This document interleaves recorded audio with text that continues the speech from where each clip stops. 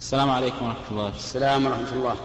بالنسبة لحديث الرسول صلى الله عليه وسلم الذي ذكر فيه المساجد فقال لتزخرفنها كما زخرفت اليهود والنصارى. فهل المقصود بالزخرفة الصور والتماثيل؟ وإذا حدث أن زخرفت بالصور فهل تجوز الصلاة فيها؟ آه، الحديث هذا آه، مروي عن ابن عباس رضي الله عنه من قوله وإذا كان كذلك فإن الزخرفة يراد بها الزخرفة يراد بها الزخرفة المشابهة لزخرفة اليهود والنصارى. فأما الزخرفة التي لا تشغل المصلي وإنما تعطي آه، المسجد زيادة في الراحة والبرودة في الصيف والحر في, في والدفء في الشتاء فهذه لا بأس بها.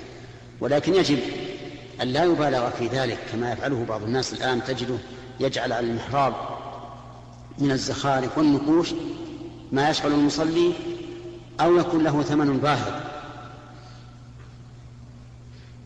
نعم. فضيلة الشيخ. وأما الصور فلا, فلا يجوز إطلاقا أن يجعل في المساجد صورة لا صورة آدمي ولا صورة حيوان. نعم. فضيلة الشيخ الرخام المظلل بالأسود والأبيض الذي صارت تزين به جدران المساجد من الداخل يجلب من دول الشرك والكفر. ولهذا فهو به كثير من الصور الظاهرة والمخفية التي تستبين بتدقيق النظر وهي صور لأشخاص وحيوانات. فما حكم الصلاة في هذه المساجد وحكم وضع هذا الرخام في المساجد؟ حكم وضع هذا الرخام الذي تظهر فيه الصور محرم. يعني أنه يحرم أن نضع في مساجد المسلمين رخاما فيه الصور. ويجب على أهل الحي الذين آه، سترت جدران مسجدهم بهذا يجب عليهم أن يطالبوا بإزالتها. فإن لم يمكن فلا يصلوا في هذا المسجد بل يطلبوا مسجدا آخر.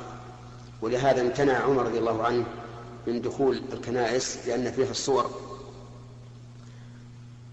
وأقول للأخ السائل إذا كان هذا أمرا واقعا هنا في المملكة العربية السعودية فليبينه لنا بيني وبينه حتى نتفاهم مع عامل هذا المسجد.